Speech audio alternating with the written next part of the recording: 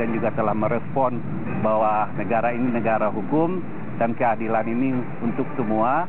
Artinya bahwa tidak boleh ada satupun penegakan hukum yang melanggar hukum. Apa yang disampaikan Presiden Joko Widodo ini saat menerima perwakilan GNPF MUI dalam acara open house di istana terkesan baru sebatas retorika. Hal itu disebabkan ulah para pembantu presiden yang justru bertolak belakang dengan komitmen penegakan hukum dari presiden. Kasus terbaru yakni penetapan status tersangka pada Ketua Umum Perindo Haritanu Sudibyo. SMS itu tidak ada unsur ancaman, apalagi ancaman pribadi.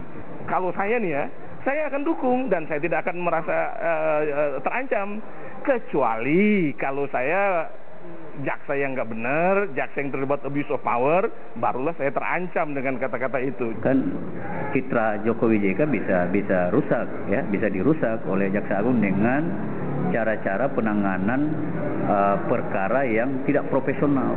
Goal dari sebuah penegakan hukum itu adalah kepastian hukum di mana kepastian hukum ini menjadi satu kekuatan bagi pemerintah dalam rangka menciptakan rasa aman, rasa nyaman, dan rasa yang benar-benar orang e, mendambakan kekuatan hukum itu untuk dia bisa berlindung gitu, menjadi payungnya.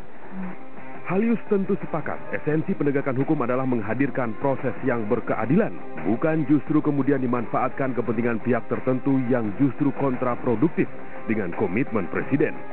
Tim Liputan MNC Media melaporkan.